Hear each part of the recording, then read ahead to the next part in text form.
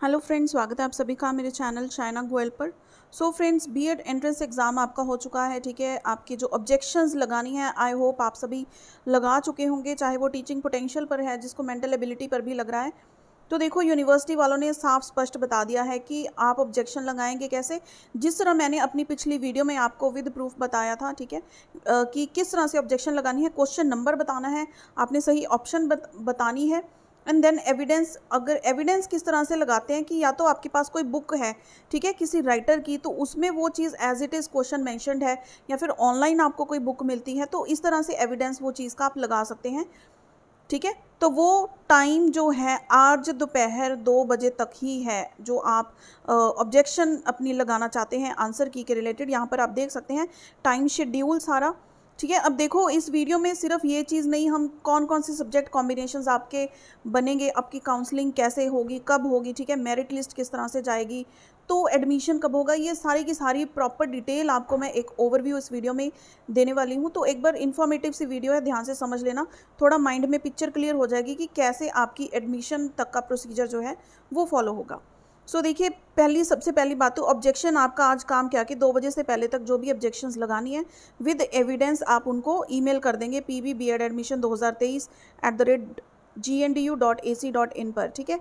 उसके बाद नेक्स्ट हमारा क्या आता है कि जो आपकी सीट्स देखो कॉलेज की लिस्ट है, चाहे तो आप यूनिवर्सिटी के वेब पोर्टल पर भी चेक कर सकते हैं।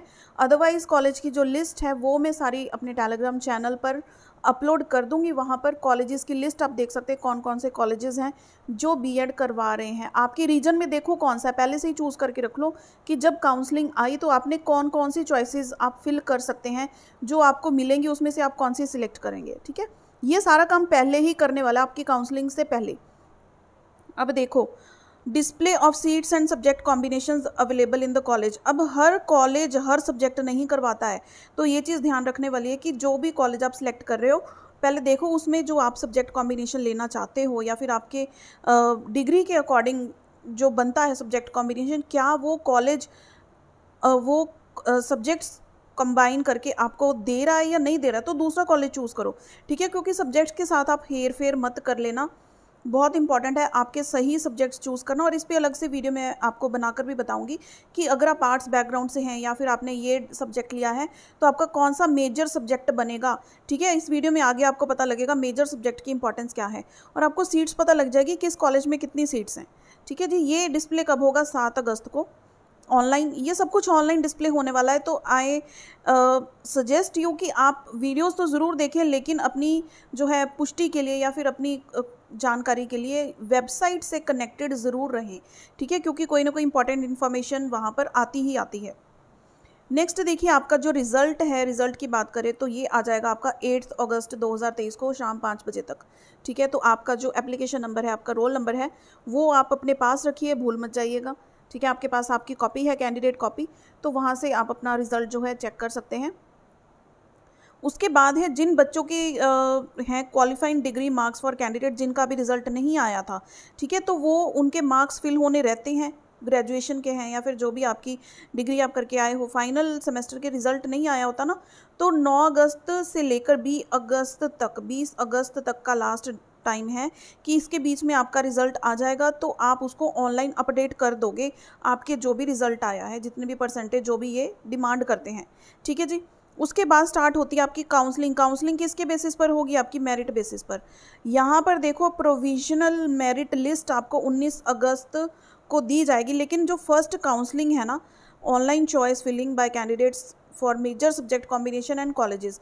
तो ये आपको बता दिया जाएगा कौन से बच्चों की काउंसलिंग फ़र्स्ट हो रही है। वो भी जिनके मार्क्स ज़्यादा है उस बेसिस पर होगी। ये काउंसलिंग 9 से लेकर 18 तारीख तक चलेगी। यहाँ पर आपने अपने मेजर सब्जेक्ट्स चूज़ करने हैं, ठीक है? वो मैं आपको अलग वीडियो बनाकर सबके लिए बताऊँगी जो बी से हैं बी के लिए हैं बी के लिए हैं, ठीक है जी? तो वो आपके लिए बहुत इंपॉर्टेंट है क्योंकि ये चीज़ चूज़ करना first is your subject second is your college ठीक है? ये दोनों चीज़ें बहुत इंपॉर्टेंट है बीएड के लिए। तो ये दोनों चीज़ें पहले से ही अपना चॉइसेस बना कर रखना कि अगर ये नहीं तो ये ये नहीं तो ये, ठीक है? वो सारी आपको प्रॉपर वीडियोस मिलेंगी तो वो भी आप आगे देखते रहना। नेक्स्ट है जो भी जो फाइनल मेरिट लिस्ट आएगी वो 22 अगस्त को आएगी, ठीक है जी? एलोकेशन ऑफ़ सीट्स ऑनलाइन आपको 23 अगस्त को मिल जाएगी। ये सारे प्रोसीजर के बाद जो है उसके बाद सेकंड ऑनलाइन काउंसलिंग होगी। जिन बच्चों का लिस्ट में, जिनका, इन बच्चों के बाद फ़र्स्ट काउंसलिंग में जिनकी टर्न नहीं आई तो उनको सेकंड काउंसलिंग में चांस दिया जाएगा। सब कुछ मार्क्स बेसिस पे होगा मेरिट बेसिस पे होगा, ठीक है? जिनके मार्क्स ज़्यादा, उनको पहले प्रेफरेंस दी जाएगी। तो सेकंड काउंसलिंग 29 अगस्त को होगी। दो ही काउंसलिंग्स यहाँ पे बताई गई हैं इनकी, ठीक है? उसके बाद शिफ्टिंग ऑफ़ कॉलेज फिर मेरिट लिस्ट ये सब प्रोसीजर इस तरह से चलता जाएगा। एंड फाइनली आप देख सकते हैं, आपका जो टेंटेटिव रेगुलर क्लासेस का शेड्यूल है, ये 11 सितंबर से 2023 से स्टार्ट हो जाएगा। ठीक है, ये कंप्लीट इन्फॉर्मेशन एक बार ओवरव्यू आपके लिए जानना ज़रूरी था, किस तरह से सब कुछ होने वाला है। बाकी अब जो मार्क्स आएँगे आपके, उसके पता लगेगा। एंड योर सब्जेक्ट कॉम्बिनेशंस जो आप लेने वाले हैं, वो ध्यान से अपने माइंड में रखिएगा। जो भी मैं वीडियोस बनाने वाली हूँ अभी, ठीक है, आपके लिए सेशंस आने वाले हैं about the major subject choices वो फॉलो करें क्योंकि जी एन डी यू ने लेटेस्ट जो चॉइसेस बताई हैं आपके कोर्स के अकॉर्डिंग वो ही मैं आपके साथ डिस्कस करने वाली हूँ आने वाले सेशंस में। सो so फ्रेंड्स ये वीडियो आपको हेल्पफुल रही हो, इसे लाइक एंड शेयर ज़रूर कीजिएगा and see in the next video चल दैन की वॉचिंग